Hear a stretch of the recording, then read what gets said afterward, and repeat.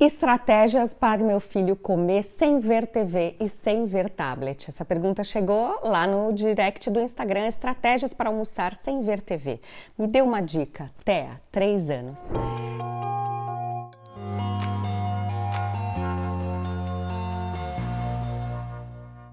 Eu entendo a Glorinha que fez essa pergunta. Eu entendo eu realmente entendo, Glorinha, que na hora da alimentação, a gente quer tanto que nosso filho coma, que nosso filho coma saudável. E quando a gente coloca um eletrônico, essa criança se distrai e a gente consegue, ela nem percebe, né? Ela só vai engolindo, mas aí ela não vai tendo contato com a textura do alimento, com o sabor do alimento e a gente está criando uma criança que possivelmente vai ter dois problemas. Primeiro, uma dependência dos eletrônicos nesse momento, e um segundo problema, uma possível restrição alimentar. Porque ela só come daquele jeito e ela não está entrando em contato com as várias dimensões do, daquele estímulo. Então a gente precisa muito tirar eletrônicos. Uma dica: não ligar. Né? Quem liga somos nós. Quem depende desse recurso somos mais nós adultos, por todas essas angústias que nos causam uma criança não comer, você ficar super desorganizada, porque ela quer, porque ela quer, porque ela quer, porque ela quer controlar o nosso comportamento, né? Então, o que, que a gente precisa fazer? Então, a dica principal: nunca ligar, nunca habituar, nunca fazer esse, esse tipo de padrão dentro da sua casa. Por quê? Quem liga somos nós. Quem estimula isso somos nós, adultos. Criança, quando nasce, nem sabe que isso existe, né? Daí a gente se percebe aí refém desse recurso.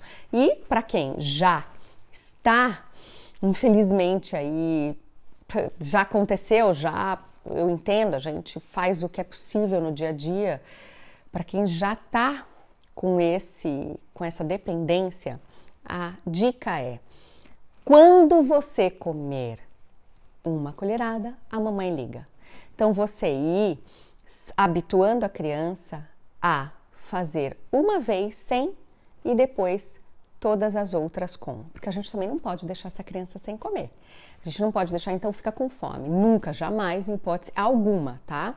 A gente precisa agora ir tirando com uh, aos poucos, passo a passo, fazendo um fading out desse estímulo. Então, uma e aí a mamãe dá. Se você precisar, faz um material visual numa folha, divide uma folha no meio, faz um risco e coloca o desenho de uma colher, depois o desenho do, da televisão. Então, primeiro esse, depois esse. Não ache que existe uma solução mágica para simplesmente a, a criança passar a comer tranquilamente sem televisão. Você vai precisar fazer isso passo a passo. Talvez você leve meses para desmamar esse eletrônico dela, dependendo do, do quanto ela já está acostumada. Talvez ela tenha passado anos para esse comportamento se instalar, três anos, talvez há três anos ela ela tenha esse hábito, não vai ser em, em semanas ou em dias que você vai tirar e vai ensinar algo muito mais difícil ainda para ela. Não vai ser em semanas. Então você vai ter que fazer e ter muita paciência e consistência passo a passo. É regra? É um para depois ganhar? Então é regra, consistência. Quando isso já estiver fácil para a criança, você aumenta para duas colheres, depois o eletrônico, três e assim por diante, aumentando gradualmente, sucessivamente, sempre depois que essa criança já tiver habituada tranquilamente à regra anterior.